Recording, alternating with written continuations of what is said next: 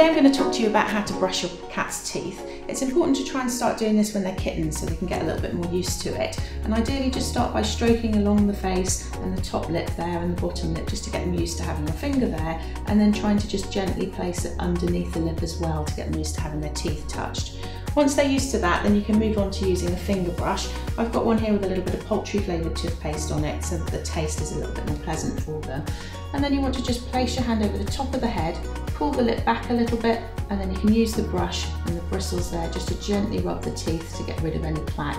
It's important to make sure you brush their teeth about two to three times a week to try and get rid of any plaque build-up and prevent dental disease.